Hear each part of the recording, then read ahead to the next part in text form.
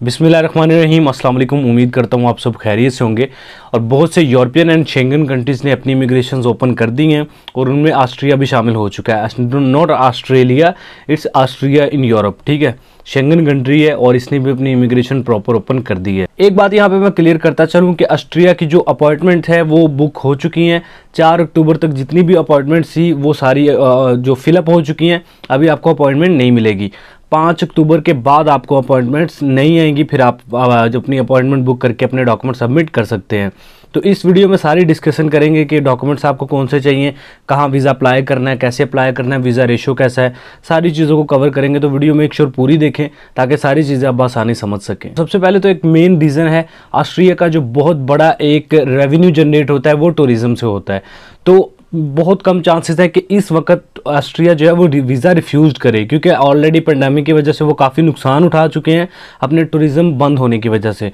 तो अगर आपने डॉक्यूमेंट्स बनाए हैं प्रॉपर सारा प्रोसेस किया है, चाहे आप पाकिस्तान से हो इंडिया से हो, जिस कंट्री से भी हो डजेंट मैटर लेकिन ये है, आपके डॉक्यूमेंट्स प्रॉपर बने हों तो वीज़ा रिफ्यूज़ नहीं होगा। हंड्रेड परसेंट चांसेस है कि इस वक्त जो है वो, क्योंकि इमिग्रेशन जैसे किसी कंट्री की ओपन होती है, वो कोशिश करता है कि जितने ज़्यादा हो सके विज़िट जो वीज़ाज़ हैं, वो इशू किए जाएँ, ताकि टूरिस्ट आएँ और अपना पैसा यहाँ पे खर्च करें इन्वेस्ट करें, ताकि हमारी इकोनॉमी बूस्ट हो। अच्छा ऑस्ट्रिया का वीज़ा वीएफएस ग्लोबल के ज़रिए अप्लाई होता है, आपको वी जो है वो लाहौर में भी इनका सेंटर मिल जाएगा, कराची में भी मिल जाएगा और इस्लामाबाद में मिल जाएगा। तो डजेंट मैटर आप किसी भी स्टेट से हो, किसी भी सूबे से हो, आप इन तीनों शहरों के जो सेंटर्स हैं वीएफएस के, उनके थ्रू अप्लाई कर सकते हो वीज़ा अपॉइंटमेंट आपको ऑनलाइन ही वीएफएस के थ्रू लेनी पड़ेगी। मैं आपको बता चुका हूँ कि अभी तो चार अक्टूबर तक बंद है।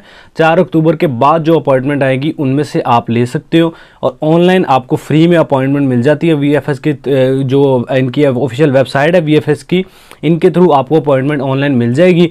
जिस तारीख को आपकी अपॉइंटमेंट है, उस तारीख को जाएँ, अपने डॉक्यूमेंट्स लेके वीज़ा फ़ीस दे, डॉक्यूमेंट्स जमा करवाएँ और अपना केस वीज़ा के लिए सबमिट कर दें। अच्छा आप डॉक्यूमेंट्स की बात करें तो सबसे पहले आपको वीज़ा एप्लीकेशन फॉर्म चाहिए होगा, जिसका लिंक आपको डिस्क्रिप्शन में दे दूँगा।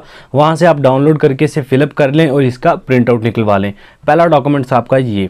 दूसरा जो डॉक्यूमेंट है, वो है आपके फ़ोटोज़ हैं। वाइट बैकग्राउंड वाली होनी चाहिए और 80 से 85 परसेंट आपका फेस नज़र आ रहा हो। अब ये नहीं है कि आपके शोल्डर ही हों और फेस आपका मतलब फिफ्टी या सिक्सटी परसेंट नज़र आ रहा हो तो एट्टी फाइव परसेंट आपका फेस नज़र आ रहा हो, बाकी ट्वेंटी परसेंट आपके शोल्डर्स हों। बात करें अगर यहाँ पे पासपोर्ट की तो आपको जो करंट आपका पासपोर्ट है, आपके पास है फ़िलहाल, जो एक्सपायर नहीं हुआ वैलिड है, वो भी आपको चाहिए होगा, और इससे पहले अगर कोई आपका पासपोर्ट चाहे खाली था एक्सपायर हो चुका है, वो भी आपने साथ लाजमी लेके जाना है। जितने भी मतलब प्रीवियस आपके पासपोर्ट है, वो सारे आपने साथ अटैच करने चाहे उनके ऊपर कोई वीज़ा लगा है या फिर नहीं लगा। अच्छा नेक्स्ट चीज़ यहाँ पे आती है आपकी होटल एंड फ़्लाइट की रिजर्वेशन।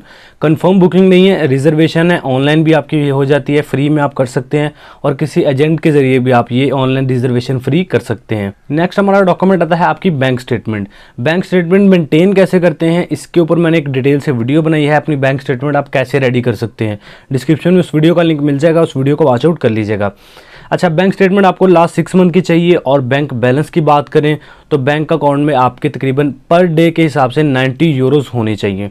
अब ये आपके ऊपर डिपेंड करेगा, आप कितने दिन का वीज़ा अप्लाई कर रहे हैं और या फिर कितने दिन का आपको वीज़ा मिल रहा है। तो ये आपके ऊपर डिपेंड करेगा कि आप कितने दिन का वीज़ा अप्लाई कर रहे हैं और इस हवाले, इस हिसाब से आपने पर डे के हिसाब से नाइन्टी यूरोज़ आपके पास होने चाहिए। और आप, अगर आप फॉर एग्ज़ाम्पल तीस दिन का वीज़ा अप्लाई कर रहे हैं मतलब ये है कि फॉर एग्ज़ाम्पल आप तीस दिन का वीज़ा अप्लाई कर रहे हैं तो आपके हिसाब पर डे के हिसाब से आपके पास 90 यूरोज़ होने चाहिए तो ये 30 दिन के बन जाते हैं आपके 2400 से लेके 2500 यूरोज़ मतलब ये फॉर एग्जांपल चार से साढ़े चार लाख पाकिस्तानी रुपए में बन रहा है तो आप मतलब ये नहीं है कि आज जितने बन रहे उतने ही रखें।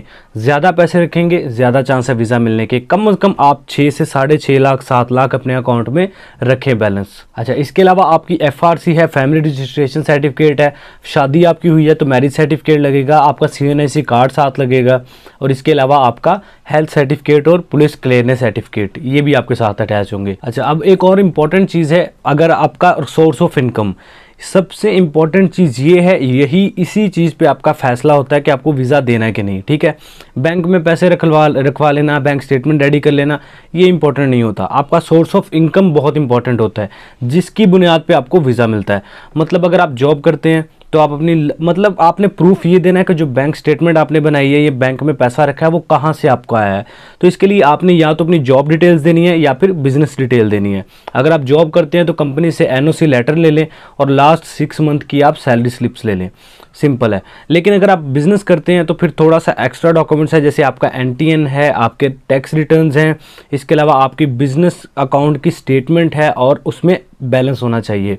और इसके अलावा आपके जो कार्ड्स हैं मतलब बिज़नेस कार्ड्स हैं कोई एटीएम है या फिर क्रेडिट कार्ड्स हैं वो साथ अटैच कर दें। इसके अलावा एडिशनल डॉक्यूमेंट्स की बात करें तो आप अपने प्रॉपर्टी डॉक्यूमेंट्स अटैच कर सकते हैं। कोई आपके आ, कोई घर है कोई दुकान कोई गाड़ी है आपके नाम वो डॉक्यूमेंट्स भी साथ में लाजमी अटैच करें। नेक्स्ट आती है आपकी ट्रैवल हेल्थ इंश्योरेंस जो कि तीस हज़ार यूरो को कवर करती हो। तीस हज़ार यूरो को कवर करने वाली जो ट्रैवल इंश्योरेंस है वो किसी भी आप ट्रैवल इंश्योरेंस कंपनी से बनवा सकते हैं जो पाकिस्तानी तीन से चार हज़ार रुपये में आपको आपको मिल जाएगी।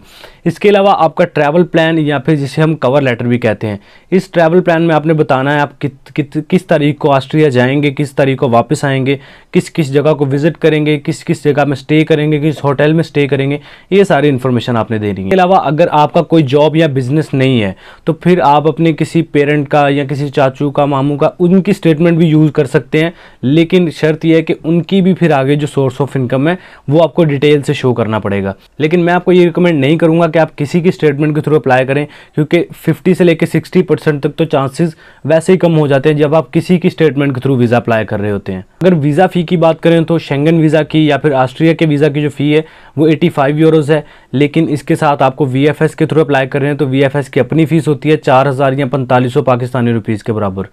तो ये आपने सारे अपनी फ़ीस पे करनी है, अपने डॉक्यूमेंट्स अटैच करने और जाके अपनी अपॉइंटमेंट लेके वी में अप्लाई कर देना है। पंद्रह से दस से पंद्रह दिन के अंदर आपको रिज़ल्ट मिल जाता है कि आपका वीज़ा आपको मिला है या रिफ्यूज़ हुआ है। तो अगर तो वीज़ा रिफ्यूज़ हो गया तो कोई बहुत बड़ा पहाड़ नहीं टूट गया या बहुत बड़ी टेंशन लेने वाली बात नहीं है। कम अज़ कम आपको एक्सपीरियंस तो हो जाता है ना कि वीज़ा अप्लाई कैसे करते हैं।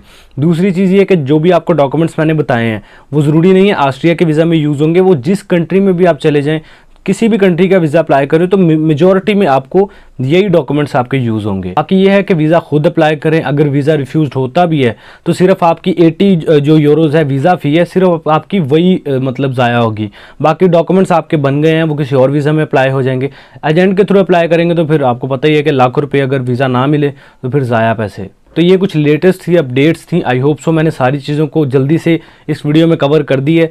अगर फिर भी आपको कुछ समझ नहीं आया या कोई चीज़ मिस कर गया हो, मैं तो कमेंट सेक्शन में बता सकते हैं। अगर वीडियो से थोड़ा सा भी नॉलेज मिला है, कोई इन्फॉर्मेटिव लगी है तो लाइक कर दो। चैनल पर पहली दफ़ा है तो एवरी वीज़ा यूट्यूब चैनल को सब्सक्राइब करके बेलाइकन पर प्रेस कीजिएगा, क्योंकि आपको चैनल पर यूरोप एशिया की कंट्री से रिलेटेड इन्फॉर्मेशन और जॉब्स मिलती रहती हैं। अपना बहुत सारा ख्याल रखिए, मिलते हैं नेक्स्ट वीडियो में। टेक केयर अल्लाह हाफिज़।